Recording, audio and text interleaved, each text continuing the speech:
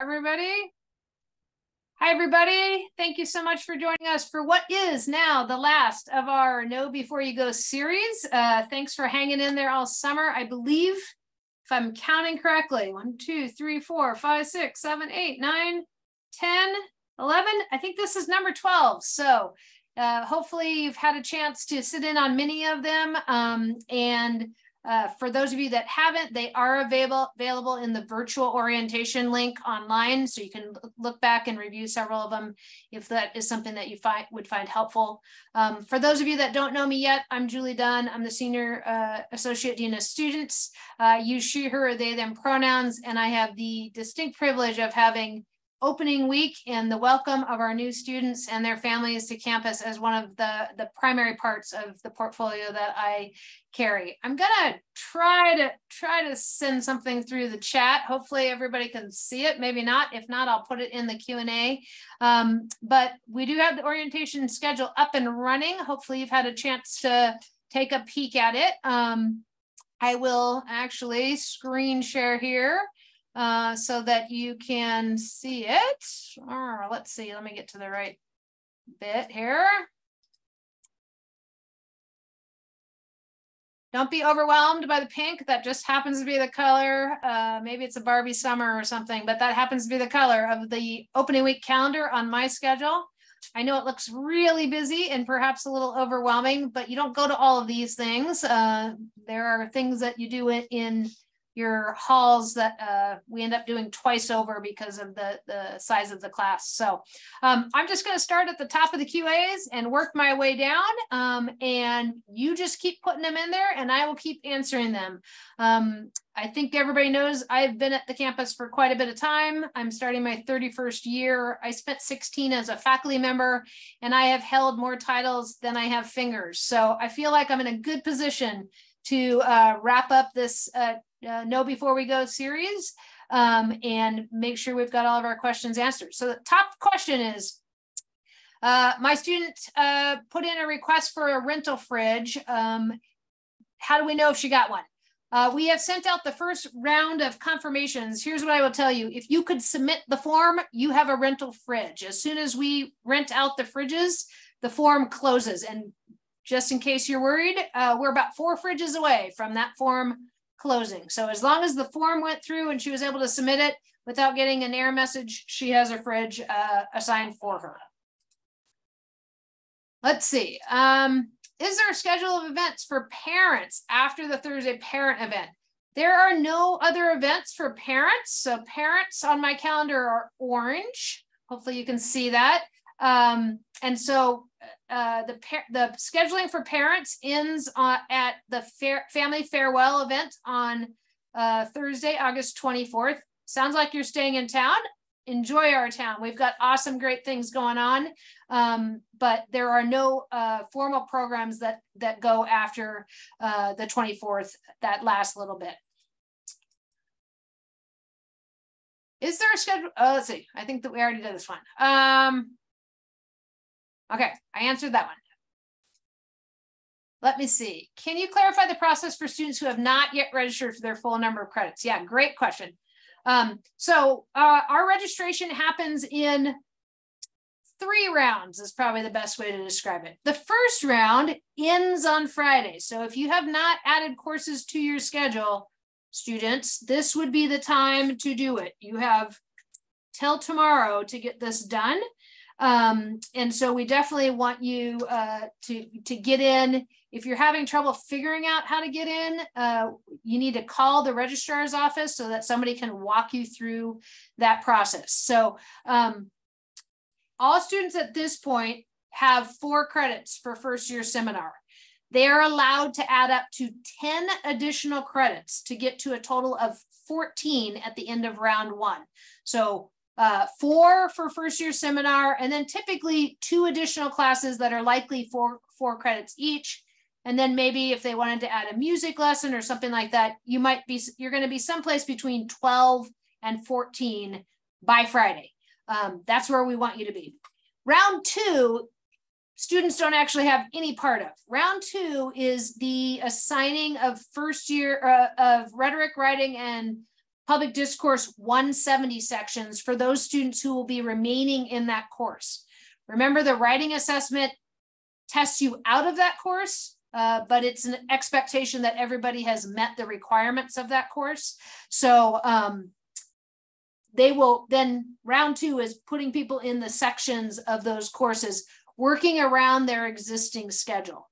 And then finally, round three happens on August 24th. It's this big chunk right here in the middle of the morning of August 24th, the individual advising appointments. That's when students who maybe only have 12 credits right now and do not have a section of rhetoric, writing, public discourse 170 on their schedule will have an opportunity to add a course.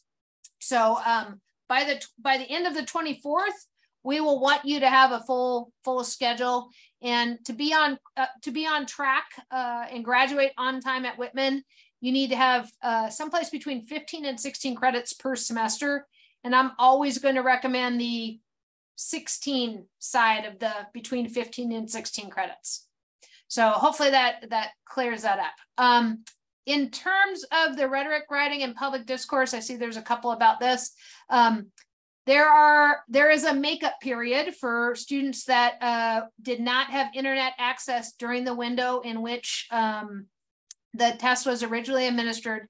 Uh, it runs from August 21st through the 25th.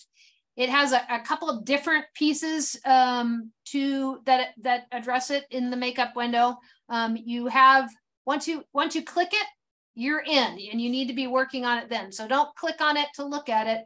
Click on it to take it, um, and that you have a two-hour window uh, in which to take it during the, those five days.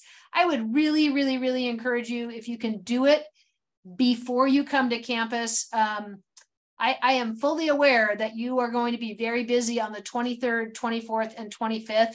Um, and so if you can get it done Monday uh, before you travel this direction um, or in the midst of your travel this direction, I think it will be a better experience for you as opposed to trying to, to do it on move-in day or, you know, on a day when, as you can see, we've got a lot a lot of stuff planned for you.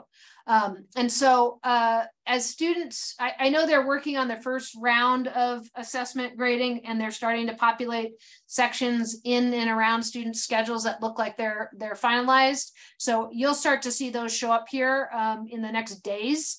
Uh, and you'll certainly know whether you're in a section of rhetoric writing public discourse 170 before uh, August 24th. So the way to look at your schedule is to go into my.whitman.edu, click on your schedule. If you see something that says RWPD 170, you're in it. And if you don't, you're probably not. So I know they're in the process of getting those done. Okay, let's see. I think I answered all of that. Um, next question is, do students have to check in before their dorm move-in time? They don't. As you can see from the schedule, uh, we will be checking students in from eight in the morning until two. Um, the things that you get at check-in are things like your ID, which you might find to be extremely helpful when you then move in. So to the extent, if you're in town uh, and your move-in time is at 10, coming in through uh, through the check-in, you know, in that eight to 10 block would be wise.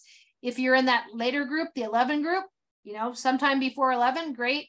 Um, we also know that there are people that are coming in later in the day. Uh, and so we really do want you to come through check-in. It's where you'll get your individual schedule, which has your individual advising appointment time for Thursday morning. It has your ID card. It has uh, your swag bag, your welcome bag, um, and like combination for your post office box, all, all the things that you need to really get started. So to the extent you can, we really would like you to try to do your check-in before move-in. We know for some students that's going to be hard for any number of reasons, but um, that's kind of how it's designed. And if you have to do it a little bit different, that's okay. Uh, but it does close at two. And so really important um, to try to get that done uh, as quickly as you arrive to campus. All right, next question.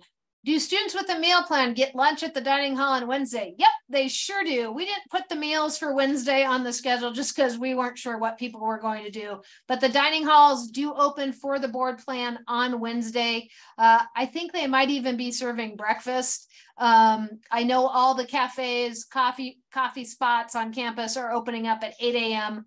Uh, on Wednesday. So, yep, we are up and running. Um, for lunch. We just didn't put it on just because of move in and, and how people are uh, coming in. So yes, you can use your meal plan for uh, lunch on Wednesday. For Thursday lunch and dinner, um, can parents eat in the dining hall? You sure can. Our dining hall uh, seats 800 people.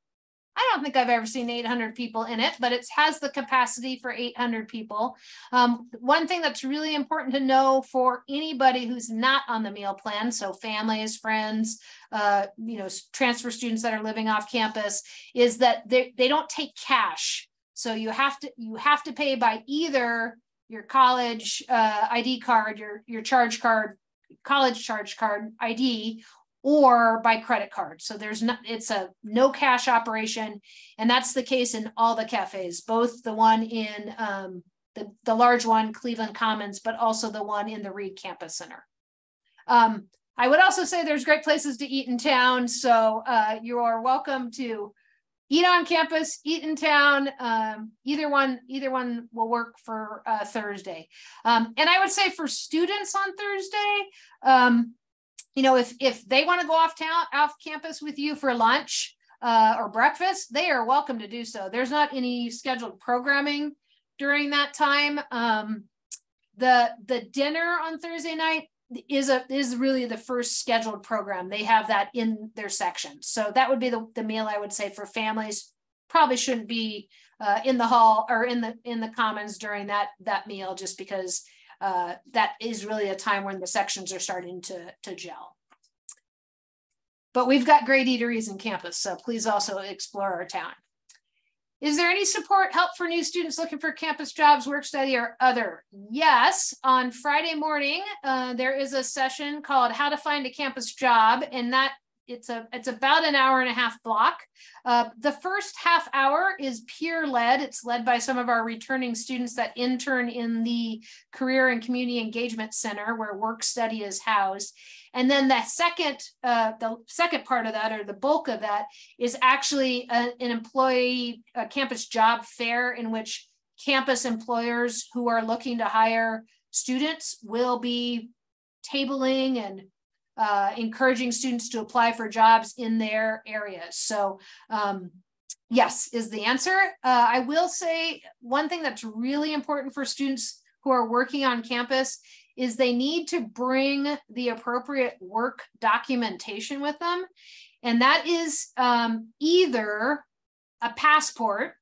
So you can bring your passport. That's the only piece of documentation you need.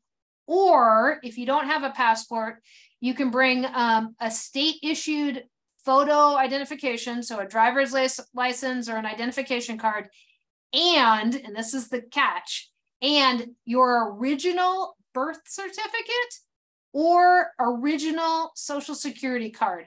They cannot take copies. So um, really important if, if students are planning on working on campus, whether they have work study or, or otherwise, they either need to have a passport. That's a single item passport or government issued ID and uh, a birth certificate or security social security card and they must be the originals. So no copies allowed. Um, hopefully that answers that one.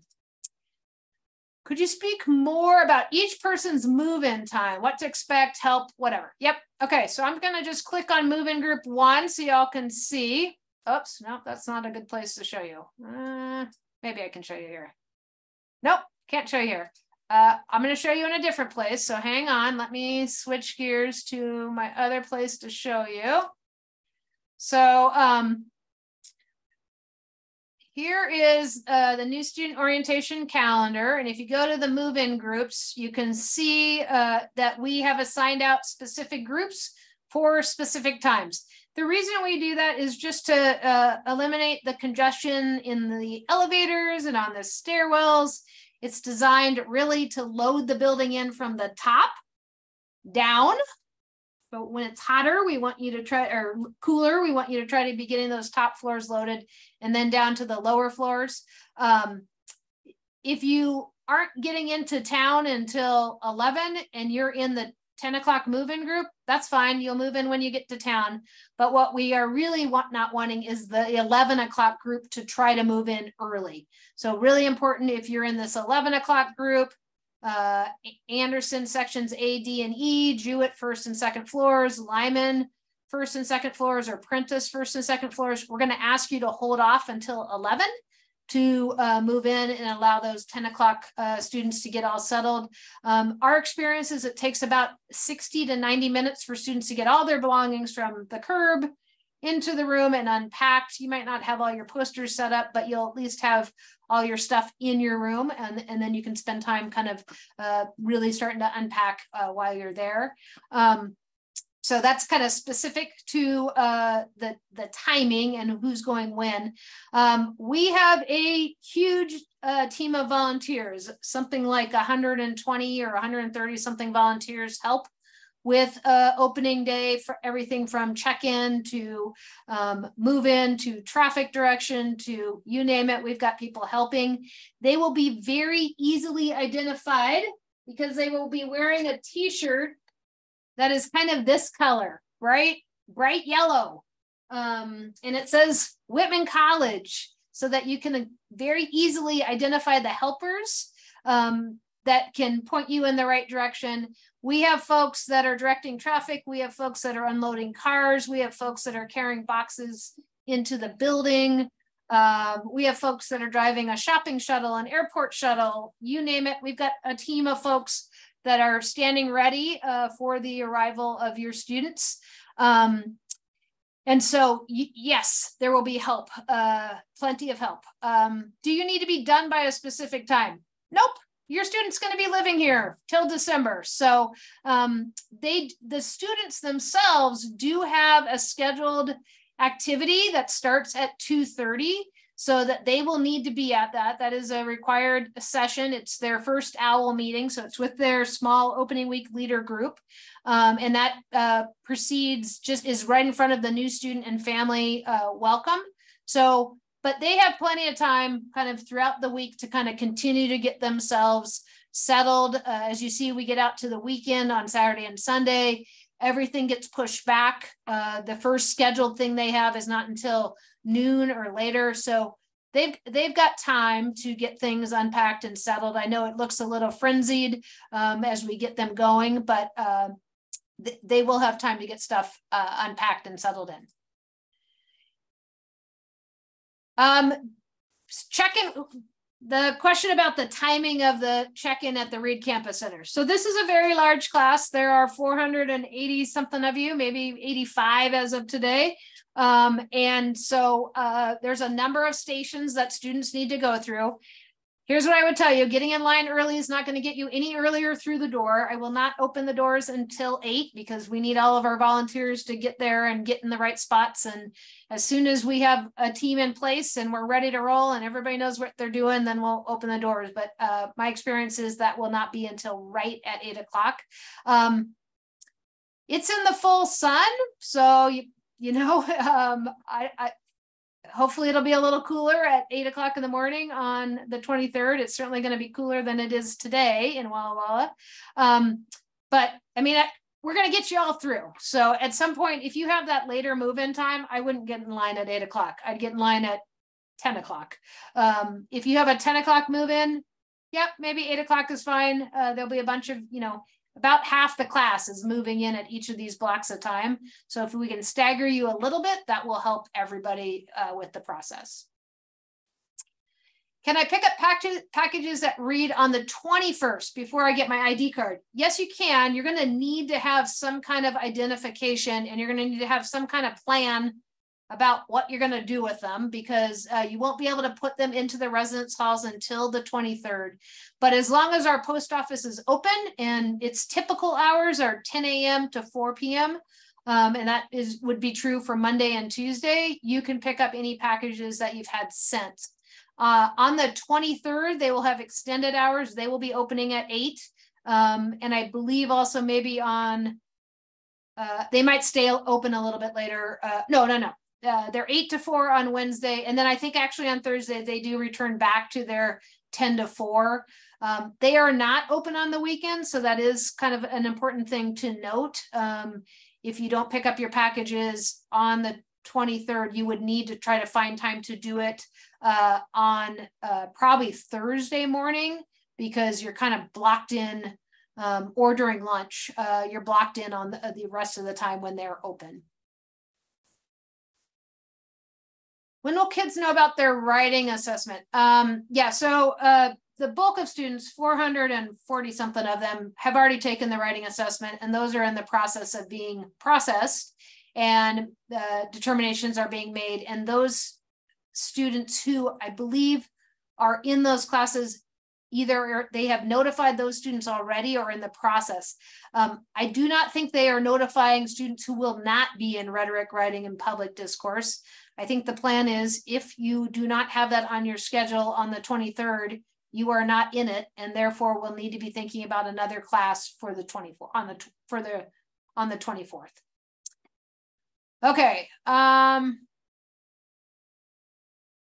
so there's a question about do you actually see the results of your assessment? Nobody sees the results of your assessment. We just have too many, uh, there's too many moving pieces on the writing assessment for students to find out kind of what their particular score is. What I can tell you is that they are graded blindly, meaning they don't know who you are um, twice. And so two people are independently grading um, these uh, independently grade, grading each assessment. And for some students, if you if there's a if the if the gradings are out of whack, so if somebody grades it, a, and I don't even know what the the score is. If someone's grades it a 10 and someone grades it a 20, a third person will grade it to try to try to figure out kind of are they a 10 or are they a 20 in the in the grading uh, system um, and again i don't know what I, I just made those numbers up so don't don't think if you're one of those or the other of those it means anything because uh, uh, that is not the case um, if you are a transfer student who transferred in language and writing equivalent or, or first year comp equivalent from another institution, you will likely see on your progress page um, it'll show that it's been completed. And actually, why don't I show you how to do that? Because that might be a way to answer some of these questions. So hang on one quick second here. I got to get myself to a different spot.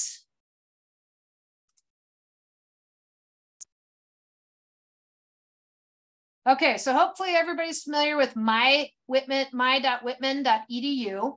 Um, students will want to go over here to the student tools. Just a couple of reminders, lots of things you can do here, especially for your parents if you're a student. This account authorization, if you want your parents to be able to see your statement, your billing statement, this is what you'll want to do. If you need more flex dollars, here's where you do it. If you have any check-ins or holds, this is where you do it. So here's a good example. It's me, I'm looking at mine. I'm not a student, so I don't have any holds. So you can see you this is where you'll play around with that. Um, you'll want to look at any uncleared holds and they kind of show up a little weird. I think they might show up with big green buttons, which make it, makes it seem like it's done. If there's a button to click in the uncleared holds, click it and then do whatever is asking you to do there. Most of them are very short. You're putting in a, you're clicking a box or you're typing in your name. They are, they are quick in that regard. Uh, in terms of my progress, this is always comical because you can see I've, I've made none. Um, but let me throw something in here quick. Okay, so once you get to your My Progress page, you should see a couple things starting to look yellow or green. Yellow means you're registered for it. Green means you're done. So you can see right here, my writing proficiency is still red. If you go into your My Progress and this is green, whether it's because you transferred in a class or you're through your writing assessment, you are done. Okay, so if if the writing profession proficiency one is green, um, or it's it kind of looks like this, and it's all this is all green, you are finished with uh, the writing assessment component. Okay, let me get back to a place that's gonna make some more sense for other question answerings. Okay, um, there's a question about I'm gonna open up another link here so I can toggle back and forth. So there's a question about uh, whether or not uh, someone can see the new student orientation stuff. So let me just show you where everything is again. I use this magnifying glass up in the main Whitman webpage.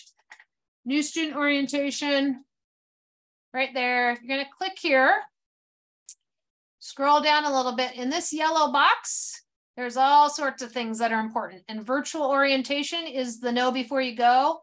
And if you scroll down to the bottom, here are all the previous ones that we've done. We do have a, a few that are still sitting out there waiting for their um, captioning to come back. So they should be back here, I would imagine, any moment, really, because uh, we are wanting those to uh, obviously get um, uploaded. So um, thanks for flagging that for me. I will make sure that we make sure that communications gets the rest of those uploaded as soon as possible.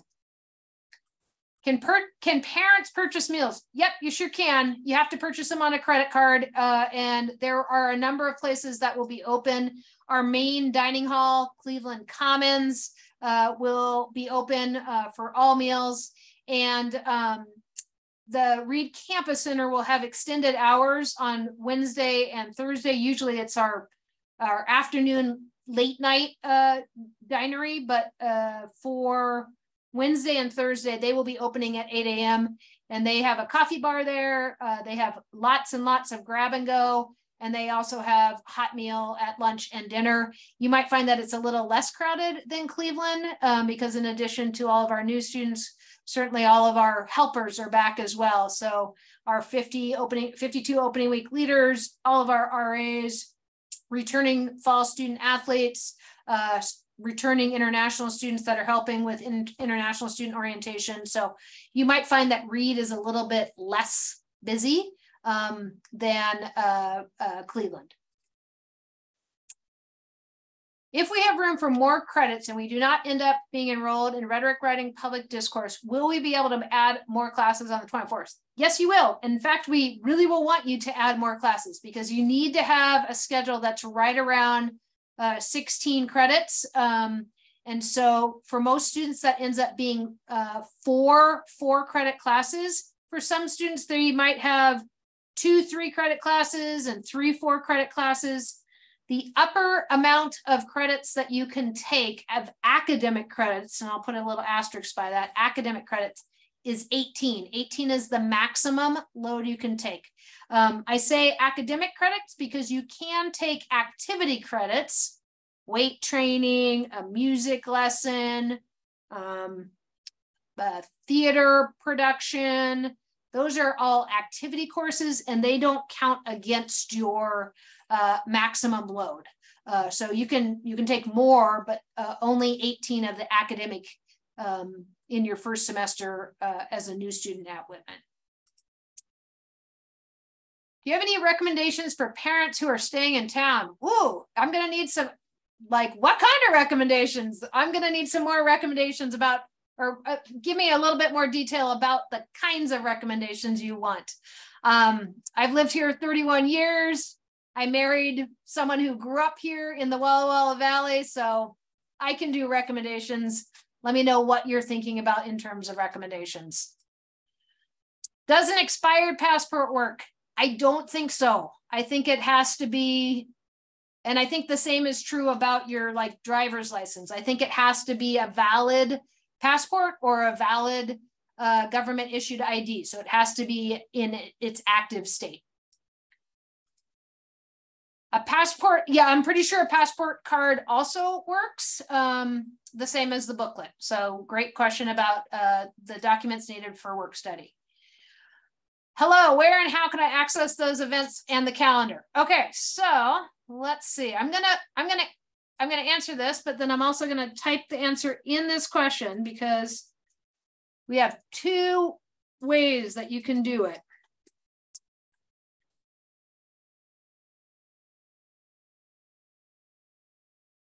This one that's going in now that hopefully everybody can see.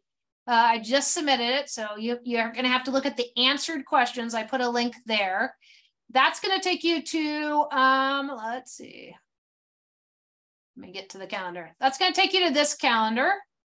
Um, we also, as I think you saw, are running it off of a Google Calendar as well. So it all feeds to the same spot.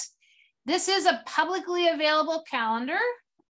And so if you're a, a person who likes to have things on your Google Calendar or on your phone, this is this is that option for you um, to subscribe to it or pick it up there. So two calendar options for you. Okay, so let's see. Question about um, back to the work work study documentation. So the passport is the sole document we need. Uh, we do have one for the work. Uh, let's see. So again, if you are wanting to work on campus, you're you're going to need some documentation in order for them. It's it's what we refer to as work authorization documentation, um, and there's a choice of documents you can bring. You can either bring your passport, that would be all you needed. Or if you don't have a passport or your passport is expired, you would need to bring a government issued photo ID and your original birth certificate or original social security uh, card. So you need two on that side. So passport, one item, or government issued ID, and one other piece. Where can we find the schedule for orientation? Uh, I've answered that in the answered questions. There's two links for it. If you are an incoming student, um, we're going to ask you to load it onto your phone. If you don't have a phone that works in that way, we're, we have a a not as pretty or easy thing. Let's see, how do I, there, little, little calendar for you that you'll have at your disposal. Um, we're really encouraging students to try, we're trying to lessen our paper footprint. So we're really trying to have students use uh, the resources that are online. Um, I also have just today invited um, the STU 27 at whitman.edu listserv, which is the incoming class listserv, to uh, the majority of the events where they are considered all class events. Um, so you can just accept those as well as a way of demonstrating, uh, making sure that it shows up on your calendar as well. Um, and that way you get the reminders as well. So um, we'll keep track of you. We'll make sure you know where you're supposed to go, when you're supposed to go, um, and there'll be schedules all over campus to help you uh, do that. But uh, definitely getting something loaded on your phone, either um, either this one, which is calendar.whitman.edu backslash orientation, or the Google one. And again, the links for those are in the um, in the the answers. One thing that you can do and for your calendars, you can add things to your plan. Um, and I believe those show up automatically in your your schedule. So um, my calendar thingy is weird just because I have different privileges, so I can see all of them. But uh, we definitely will make sure that you know where you're going. Great question. Next question: How important is it that I order textbooks for classes now? Um, yeah, the book the bookstore is going to send you a gazillion and a half uh, reminders all the time for all sorts of things. Um, the advantage to ordering them now is that it's grab and go when you get here. So uh, they go around, pick up all your books for you. They get them in a big stack. They probably even put them in a bag, and then you show up and you pick them up, um, and you're on your way. Uh, if you don't want to do that, you certainly can come to the bookstore, but keep in mind there are 485 of you who are trying to get your books all in this period of time. So there might be an advantage to um, ordering them and paying for them in advance and then being able to just pick them up. Uh, if you are relying on, um, if you have a scholarship or uh, financial aid that covers your books, you might want to wait till you get to campus because you can use your card your ID card to charge against your student account uh, and, and charge your books to your student account, which allows you then to use those monies. So a couple different ways for you to do it. How do we know which first year uh, seminar group topic we're in? Oh, okay. This is a, hmm, let me think about the best way to show you this. Okay, if you go to, um, this is going to be a two-parter. Okay, so if you go here to your uh, student check-in tools, you should be able to see your schedule someplace. Oh. All right, let me, let's go one little.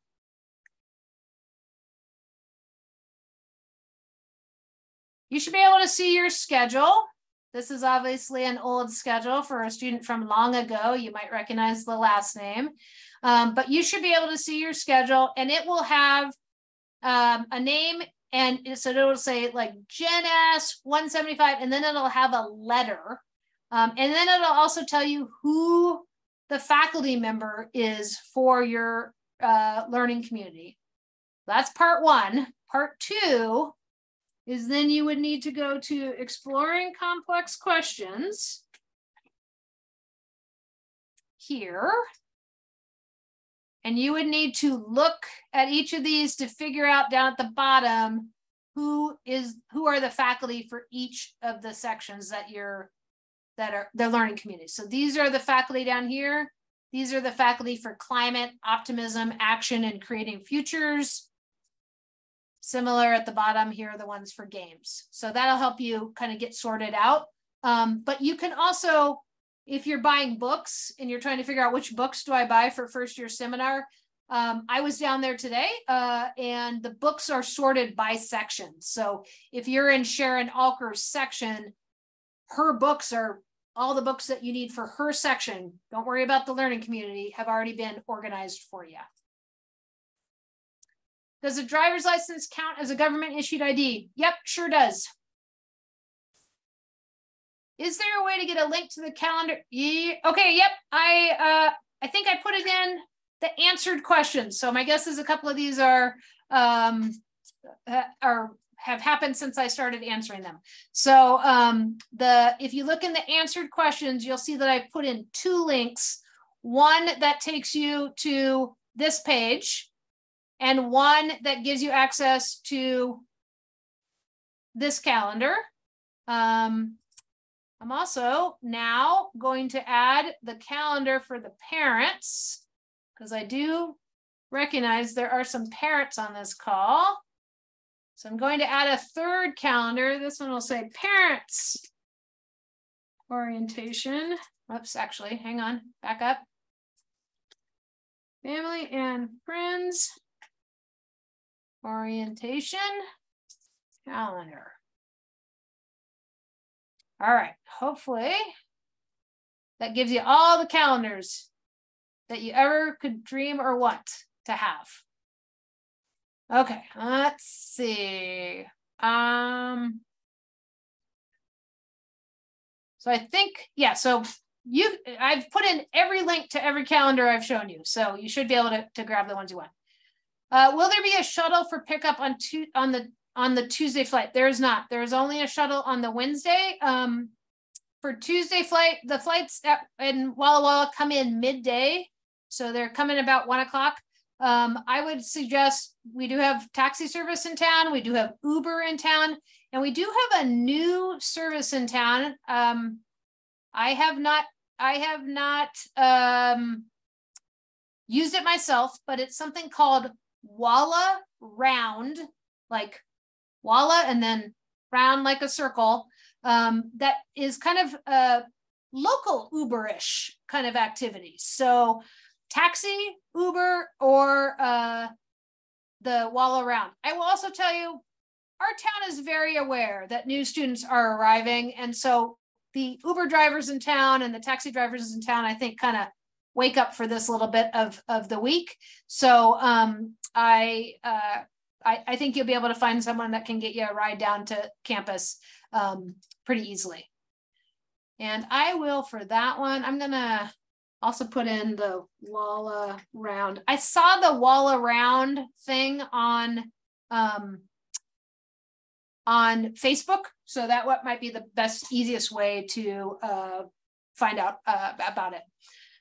Um, question about the heat in Walla Walla. That's a good question to be about today, because let me just look and tell you what we're sitting at right now today. Been a little toasty. Good news is we're getting it out of our system. So today uh, we're we're topping out at 103. Um, thankfully, it cools down tomorrow, and we are looking at about uh, low 80s for next week, uh, which is perfect for uh, for all things move in, new students orientation, and whatnot. Um, there is a mix of orientation events inside, outside. Um, they are when when the orientation activities are inside, they are typically in large buildings that are air conditioned, such as the Reid Campus Center or Cordiner Hall or some of our academic buildings.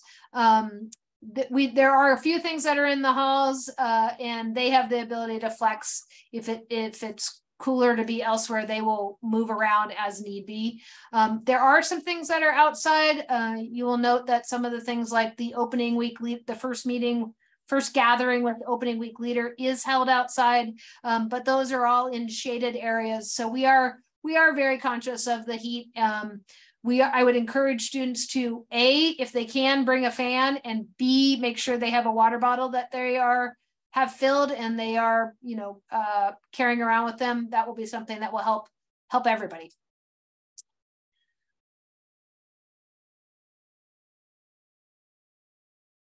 So I I I am unaware of the alumni student reception that is happening at the same time as the OWL meeting. So hmm, I don't know who's crashing in on my opening week schedule. Um, your student really needs to be at their opening week uh, uh, bit. It is their first time that they're going to connect with their community that they're going to be uh, with during um, opening week. So I would hate for them to miss out on that. I don't know who you are, but if you could email me, this would be really important for me to know what this is and where where it's happening and when it's happening. Um, so if you could email me at dunnjl at whitman.edu, don't worry, you're not getting anybody in trouble, but I do need to have a clear understanding of how this might be impacting other parts of our, our week. Uh, so if you could if you could send that along, that would be really helpful. Ah, question about posters in the hall. Um, they are real particular about what you hang posters with. I think the gold standard right now is command strips. Um, I don't think they like that gooky, greasy, goopy stuff. And they're absolutely no no to push pins or tacks. So I'm pretty sure it is command strips is the way to go.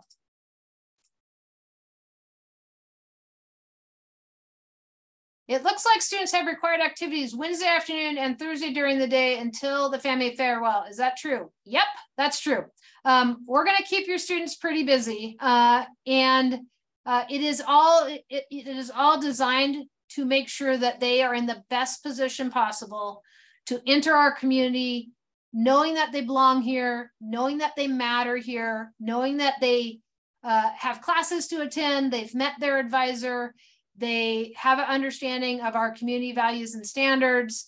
They have, um, you know, met key faculty and staff in key areas all over campus. So, yep, we're going to keep them pretty busy right up until the family farewell. Um, and so, there's not a lot of time in there uh, for for uh, family time. I recognize that. Um, if you're looking for a meal, the meal would probably be the Wednesday dinner is one that's it's it's a little bit more loose. Um, or or the Thursday lunch is also a good one, but there's not a lot of run around town time. Um, in part because we got to get them ready for uh, the start of our academic year. What if you can't submit a check-in? I think this must have to do with holds. If you could add ask this question with a little more detail so that I know specifically what you're struggling with so I can try to answer that, that would be great. Okay, so let's see. I have 15 credits currently without the writing class. I remember seeing there's a 14 credit class. So if you have 15 credits, it probably means that you must have an activity course in there. Um, and if if they need to add a writing class on top of that, they will find a space for it. Do not worry at this point. Um, they will be in contact with you if something needs to go off of that list. Don't take anything off your list now until you're told to do so. Okay, can students buy meals for family or friends with their meal plan? Yep, you sure can. Here's what I'm gonna uh, kind of warn you about. You've been given an allotted number of meals to last you till December. Um, and they're designed for you to have your meals kind of parsed out. Um, couple couple words of advice. If you buy for other folks, just remember at some point you're not going to have enough for you. The other thing is if you are a fancy coffee drinker, you drink fancy coffees and you like fancy coffees, you probably need to be on the highest meal plan that there is because you will burn through your meal plan for breakfast, lunch, and dinner by buying fancy coffee. So either you got to squash that fancy coffee buying habit or buy the bigger meal plan so that you can um, accommodate your fancy coffee drinking uh, habits. Um, you can also use debit cards. Debit cards absolutely do work uh, as well. Is there any chance more one credit activity courses will open up? A lot of them are filled up. You are correct. Um, they, there might be some seats that pop open in those. Um, so after round one, which ends uh, tomorrow, so if you haven't got classes on your schedule, please get those done. Round two, you don't have to do anything. Someone someone will add rhetoric, writing, and public discourse 170 to your schedule if you need it. Um, that will be added. Uh, round three is you adding another class um, after talking with your advisor on the 24th. And then the whole system reopens again on, on the first day of class, on the 29th. And then all the returning students are back in and they are making changes to their schedules. So there's going to be courses that are currently closed that reopen um, as the returning students come in and adjust their schedules uh, to be uh, fit. So um, that is, is a way that um, you'll be able to make some wiggle room around there. I will also I will tell you, um, please look in the sports studies, recreation, athletics. Um, the one of the teams that I supervise is the outdoor program, and they have gazillions and gazillions of recreation for credit classes. Um, you know, something like 20 sections of rock climbing or something like that. It's a, it's a very large number of, of courses. So also be willing to try out things you might not otherwise you know, if, if you had your heart set on yoga, I think there's maybe one section of yoga. Um, there's other ways to stay very active on our campus. Um, and I would really encourage you to look at those other ones as well. All right, someone confirmed I was correct. They all have to be active. Active uh, or, or not expired government issued IDs or passports. Is there a certain date that scholarship money must be sent to the college? No, I mean, if you have outside scholarships that are being accounted for, um, at some point you're going to want those in your in your in your in your uh, statement so that you can draw on that money. Um, I don't think there's a specific date, but you know, at some point you're going to you're going to want to start using that money. So having that loaded up, there is a required there is a required meeting on Monday, uh, August 28th, Monday morning, 9 a.m. for all students that have financial aid have to attend this this uh, meeting. Um, and that would be another, if, if you if you haven't quite figured it out by then, that would be another great time to ask that question to make sure that you've got it all answered. This is our financial aid team. For if that question was asked by parents, uh, the the the first session um, for family orientation is financial aid, internships, and student employment, and that they can answer that question there as well. Okay, let's see. Um, I will be recording this. Uh, the turnaround on this is going to be tight. Um, I might see if they're willing to get it up and um, uncaptioned um, just so that it's available because by the time it gets captioned, you will all have been here. So we'll try to get this one kind of uh, expedited in the, in getting back up. All right, uh, I'm going to skip over ones that I've answered and I'll come back and get those at the end as we get closer to five. Um, okay, do you have favorite things to do around town? It's my first time in town. Don't want them to be bored. Um, we have an amazing downtown. Um, we our our downtown, our which is literally called Main Street, um, has won the Main Street Award for the United States a couple times over. Um, it is a fun little place. It's got good stuff uh, all through downtown. Um, live music, uh, cute little shops, nice new plaza, um, little eateries up and down, um, you know, several blocks. Uh, and then kind of on the side streets adjacent to Main Street. Uh, we have the number one candy store in the nation Bright's Candy Shop voted number one candy store in the nation this summer. So you certainly wouldn't want to miss out on that. Um, further afield from, from campus, there are some really awesome uh, organic farms and uh, that welcome visitors. So great, you know, just out and about town. Um, obviously, I think most people are aware that uh, Walla Walla is also a, a big uh, winery uh, vineyard area. So sometimes those are fun to explore. Um, families that are in town on Friday uh, that want to explore kind of the winery scene. Tranche Winery hosts a free come out, sit in our field, listen to live music uh, activity. That's really really fun for families and all ages actually can can attend there. So um, yeah, like good stuff. Good stuff to have uh, both on campus and in town. Um, Fort Walla Walla, it's amazing resource in town as well. Um, lots to do out at Fort Walla Walla. There's uh, hiking trails. There are uh, there's a nature preserve. Obviously, the Fort Walla Walla Museum is there. Maybe that wasn't obvious, but Fort Walla Walla Museum is there. And then there's a, um, a professional length uh, disc golf course that's out there as well. So I think that's that's a bunch of my favorite stuff. Um, let's see. So there, I just got a whole bunch of emails that are referring to me as Stu27. Um, yep, you did. Those were all the calendar invites. So if you want this thing on your calendar um, directly, if you want this to show up on your phone, just start accepting all of those.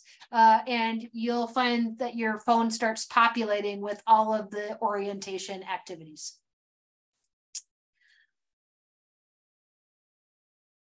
Someone's asking there we will have printed orientation schedules. Again they are very um, they are skeleton in nature. They are literally a spreadsheet uh, with dates times and the thing and where it is. So um, it will be available for, it will be available both for families and for students at check-in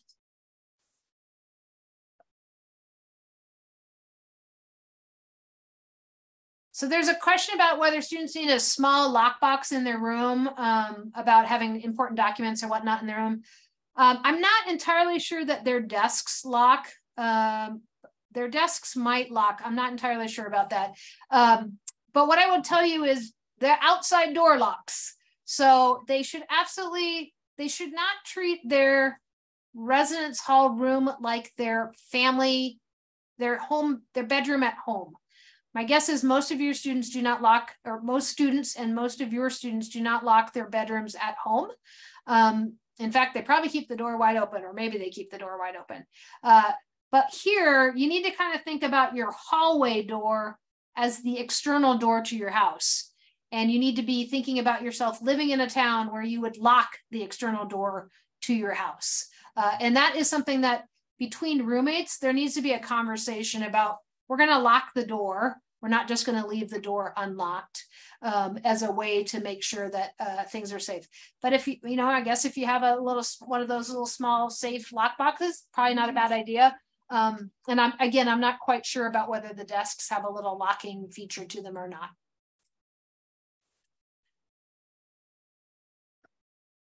So a question about uh, what's optional and what's required in orientation week. Um, so almost all of orientation week is required. The things that are not required, just as I look at this, this page of the schedule, um, let me just kind of run through kind of the not required. You're not required to go on the shopping shuttle or the campus tour. Um, you're not really required to go to any meals. Please eat please eat when you're hungry and um, don't when you're not. Uh, but all the rest of this stuff, fearless, beer goggles, section meeting, consent and healthy relationships, DEIA, gender and sexuality, those are all required. How to find a campus job? Not required. If you want a campus job, you should probably go to that. The identity and belonging resources activity, it is not required, um, but uh, it is a great place for you to find belonging and find folks um, that are that you're, you're going to spend the next four years with. Um, and then these big three social events on Friday, Saturday, and Sunday night, also not required. Great opportunities to meet people, have fun, but certainly not required. So if you want to if you need, if this is all too much and that's a lot and you just need to take a break, you can certainly, uh, you know, go to bed early or not go to the dance or not go to night at Reid. Those are, those are optional activities as well. Um, so you'll, I think you'll have a sense when you get here of, of what are the ones you need to be at and what are the ones you can, can check out of.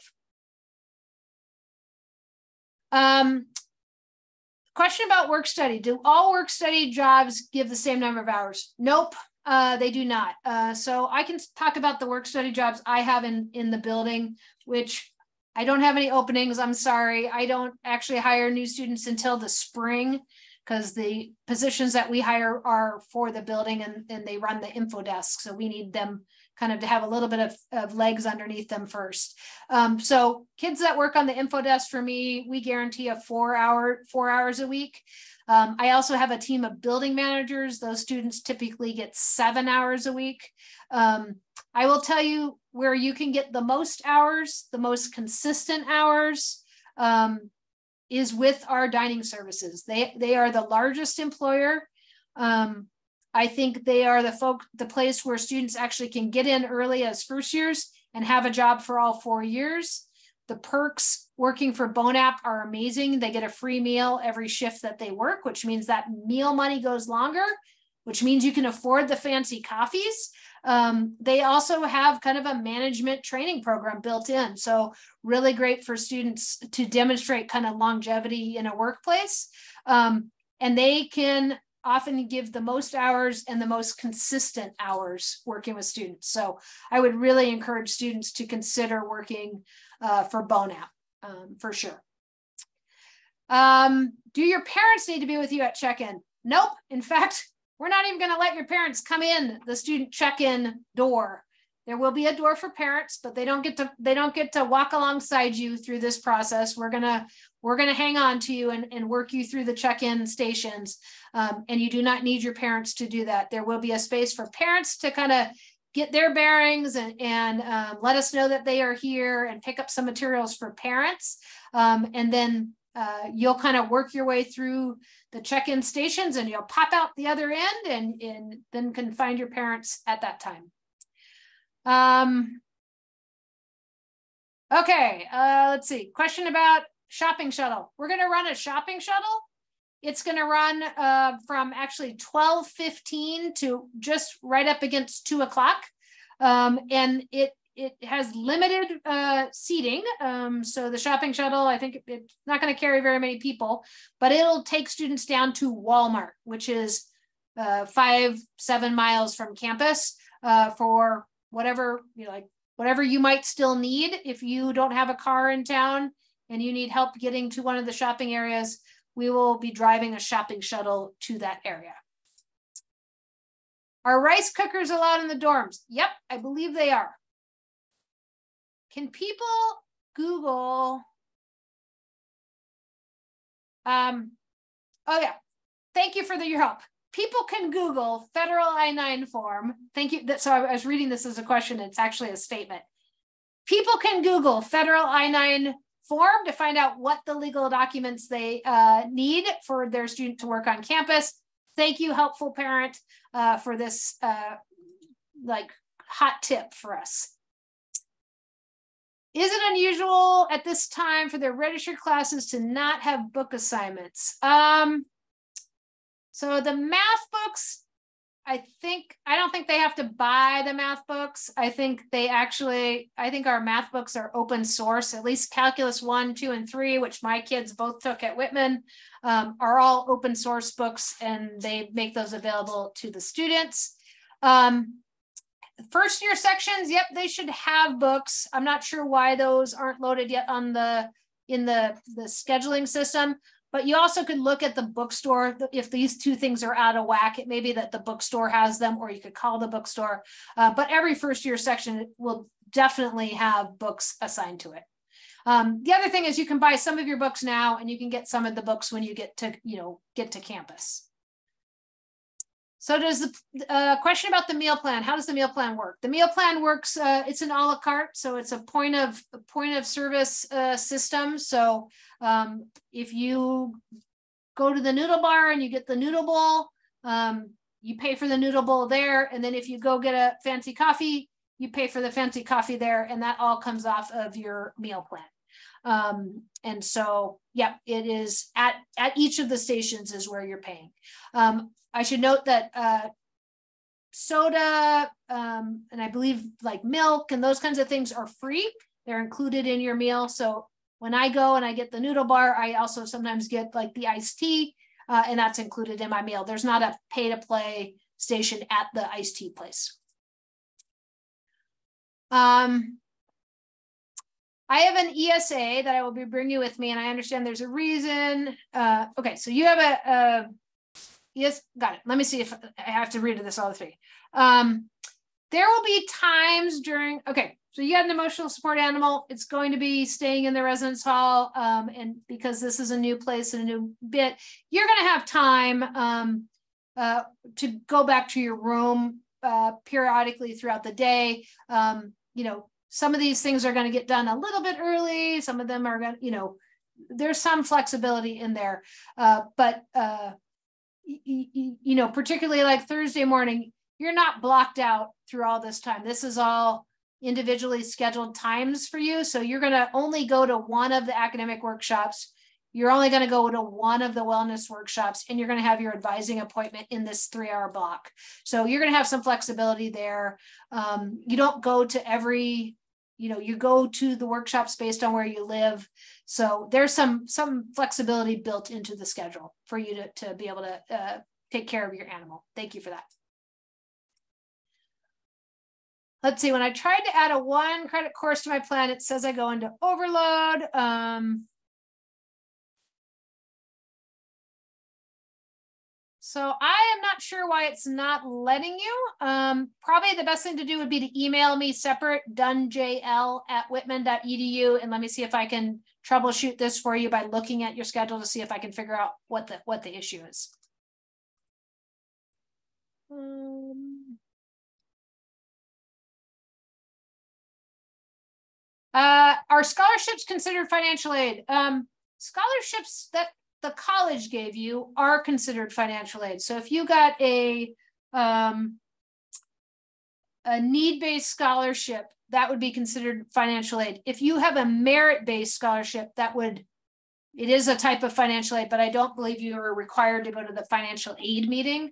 It's if you have loans, um, need-based aid, uh, grants of any sort, outside scholarships of any sort, um, one, it's not a dumb question. Thank you for asking it. But two, yes, you'll probably want to go to the required financial aid meeting. So in the answered questions, uh, the question about how do I add family orientation events on my calendar, if you go to the answered questions, you'll see one of the questions I answered has three links in it. And one of the links is the family and friends orientation schedule. And so you should be able to um, click on that and then uh, add, add those as you need to your to your own schedule. And the question about does Bon Appetit qualify as an on-campus job? It does, and they are always looking for work study students. Um, the question about your move-in time. So your move-in time, again, is based on where you live, where you're moving in. So if you look at the schedule that I have on the screen right now, there are two move-in groups. It's based on your residential, uh, what, what did I do? Sorry. It's based on where you're living. So depending on where you're living, you're either in move-in group one that starts at 10 or move-in group two that starts at 11. Um, and I assume that's what you're asking about when you're asking about uh, move-in times. Does the library offer employment? Yep, they sure do. Um, I will say uh, those are those are jobs that students get as first years and have for all four years. Um, and so I don't know how many seniors they graduated out, but uh, they are they're folks that often hang on to their employees in part because they are great jobs. Students like them very much because you can do homework while you're doing your work in the library. So um, there that's a plus of a job for sure. Uh, but yes, they absolutely have student employees that work there. How long does check-in take? Um, so there are, I think there are 12 stations. It goes pretty quick. Um, you know, the first station, you're going to get your ID card, and then you're going to pretty much show your ID card at every other station to get everything else you need. So uh, at most places, they are just giving you something. So um, in some cases, it's a bag they don't need to know who you are. They're just giving you a bag. Uh, in other places, they absolutely need to know who you are because they're giving you an individual um, individual schedule that's for you for that Thursday morning where you're meeting with your advisor and whatnot. Um, you're going to get a really sweet T-shirt, your class T-shirt. So we're going to need to know what size you wear. So um, yeah, we're definitely gonna we're gonna run you through it pretty quick. Uh, we, as I said, have lots and lots of helpers, so we're gonna make sure that we we get you all through as quickly as possible. But um, some of them will take a teeny bit longer because someone's got to look up your post office combo and hand it to you. Uh, other ones, they're just literally handing you a bag and you're walking along. The way to speed yourself through the check-in is to ensure that you have submitted your photo for your photo ID and that you have recorded your name for the college. These are two critical things. If you want to be in the express lane, that's how you get in it. Um, but making sure that you've submitted your photo. I think we still had about 80 photos that hadn't been submitted uh, and a, a, bunch more name recordings. Um, those are two stops. And so if you have those done, you're skipping ahead uh, past those. If you're having trouble getting your photo to load because it's too big, send me an email so I can uh, help you get uh, alternative loading of that photo in another way um, to uh, get sorted out. Um, Question about whether a student has to do check-in at Reid before going to the dorm. I would recommend that they do because you do get things that might be helpful for the actual move-in part at the dorm. Um, for students that have uh, purchased a refrigerator or rented a refrigerator from us, you can pay for your refrigerator, then you get your receipt for the refrigerator so that when you move in, you, you're all ready to go uh, with your refrigerator. So um, I would expect student, I would expect the check-in process to maybe take 30, 45 minutes total um, as we get you through. And again, photo turned in, submitted, and name recording done, and that will help speed you up through this process. You do not need to be at check-in at 8 a.m. If you have the 11 o'clock check-in time, you can definitely come 10, 10.30, something like that uh, would be great. Um, Question about where do you look for campus jobs? So again, we're running a session on Friday morning called How to Find a Campus Job, but you can also be on a system called Handshake, uh, and I've I've spent sent some information in the Monday emails about Handshake. But setting up your Handshake account, making sure you've got everything in your Handshake account, will also help you with the process um, because that's all campus jobs are handled through Handshake. That's where you apply for them. That's where you submit your materials. That's where uh, folks are looking for applicants for their jobs. Um, and uh, that's where we make sure that everything is good to go. Um,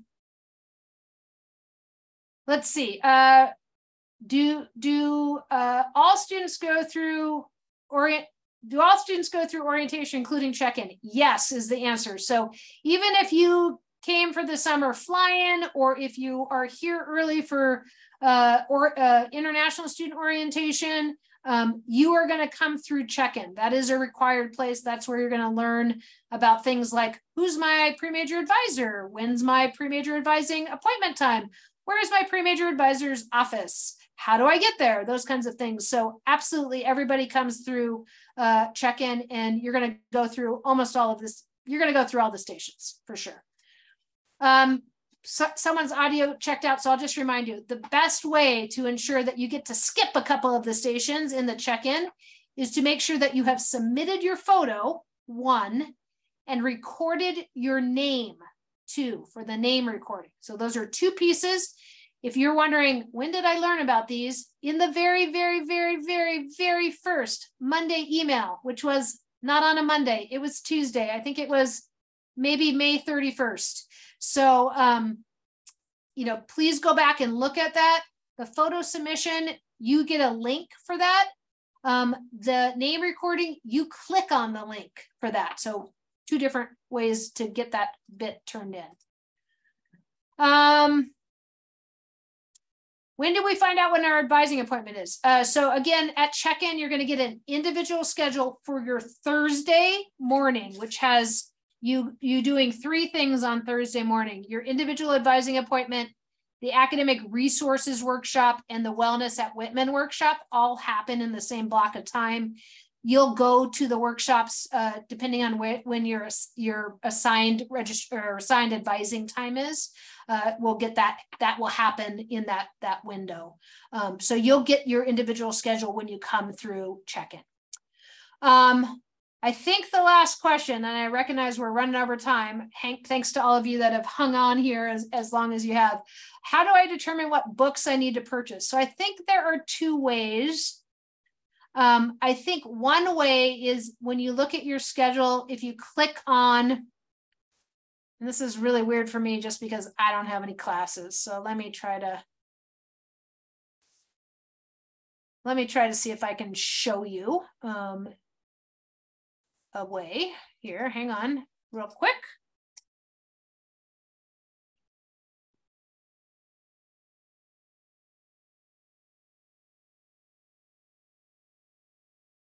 Oh, not there. I thought it might be in your schedule. So it must be in your progress. I think if you click on the course itself, when you're in course search, there's an option to look at the textbooks at the bottom. If not, you can also do it on the bookstore's webpage, Barnes and Noble's bookstore webpage.